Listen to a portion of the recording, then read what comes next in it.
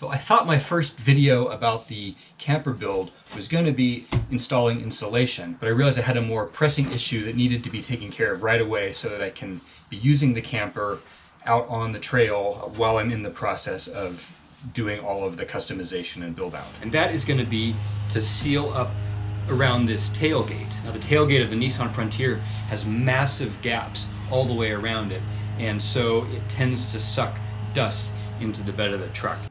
After researching options, I settled on this RokBlok kit. This was a purchase I made. This video is not sponsored in any way, and I have no affiliation with this company.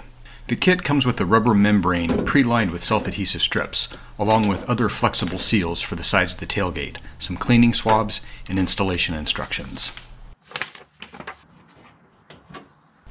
First, I had to remove the tailgate cover.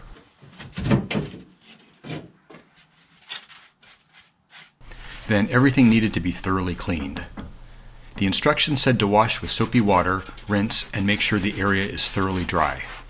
I used my heat gun to accelerate the drying, and then I used the provided alcohol wipes to further clean where the adhesive would be applied.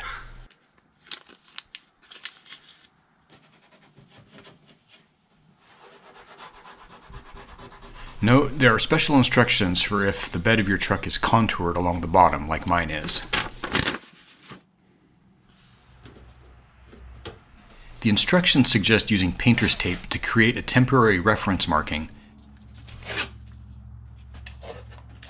Then use the supplied adhesion promoter along where the adhesive strips will be applied.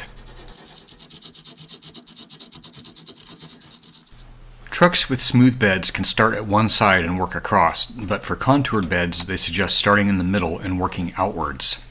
I had to cut through the backing in the middle in order to start peeling it off. The instructions say to pull off about a foot of backing and then start working your way towards the bed rail, working the material into the contours of the truck with firm pressure. The instructions are basically just a typed sheet of text with no diagrams, and I had to refer back to it repeatedly to remember what it said to do at each step. Oh, it felt less intuitive without any illustrations, but eventually I got through it fine. I used more tape to mark where I needed to cut the ends to fit the tailgate frame. So I cut a little notch in mine because of this sort of rib that sticks out here. And hopefully it's the right thing to do. The instructions suggest using a roller or a hammer to go back over the adhesive with additional pressure. With the truck bed side done, it was basically the same process for the tailgate side. Make a reference line with tape, apply adhesion promoter, work outward from the middle, and trim as needed. So this rubber is pretty thick and then where the adhesive is, it's even thicker. And so, I mean, it's, it's good and tough. I feel good about that. I'm a little concerned about how well I'm gonna get this back on there. I mean, the instructions definitely say this needs to be underneath anything like this. And I didn't want to put it on top of here in case I decide to replace this with something else, which I'm pretty sure I will do at some point. Uh, just a, a, flat surface instead of this ribbed thing. But I want to keep this on here for now. I don't know, that might be all right actually. Okay, in any case, the tailgate has to sit open for um, at least 30 minutes um, before you put any stress on that adhesive. So we'll see about this later. And I got the full kit, which includes this um, seal to go along the edges. There you can kind of get a look at what this seal is. They have different suggestions for how to apply the side seals depending on the model of truck, and I had to look on their website for how to put this on the Frontier. I actually ended up doing this wrong, but I'll talk more about that in a minute. Without printed, diagrammed instructions in hand, it was easy to misinterpret or misremember what I saw on the website once I actually started doing it. This looked right going on,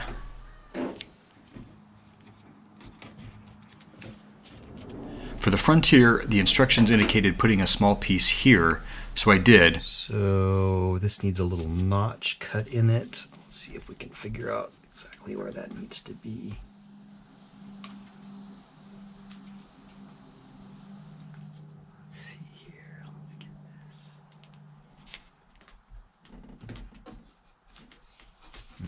Seems like that's still going to leave a space where air could flow through there and suck dust in. We might have to modify this a bit. Add something else in there. After allowing adequate curing time for the adhesive, I put the tailgate back together and checked things out. So it's not a super smooth sort of interface, but I think it's just not possible with the contours of the bed of the truck. Does fold down in there. I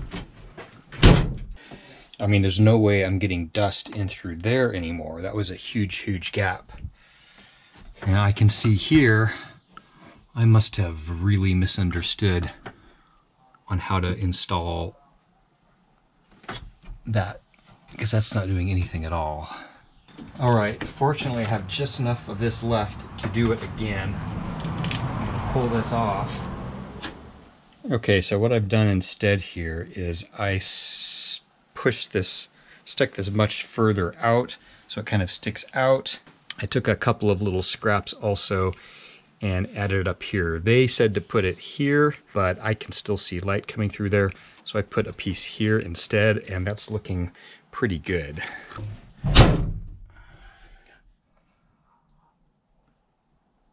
That's much better. That's much better. That bulb of that uh, strip is squeezed in between there.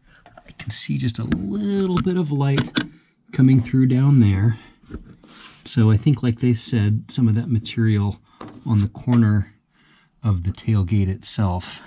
The kit also comes with a short piece of this much thicker seal and their instructions had said to put a piece of it in this corner here, but their instructions also did not show um, a truck that had this in place. What I'm going to do is try and fit it in right in there and sort of tuck it down into that space there. So that's a little tricky to tuck down in there with the adhesive, you know, revealed. Um, and then very difficult to put pressure on the adhesive to make it stick. I'm just using a little screwdriver to try and press on it and hopefully that will stay. That left a bit of seal kind of loose, so I used some two-sided Gorilla Tape I had on hand to stick that to the tailgate a little better.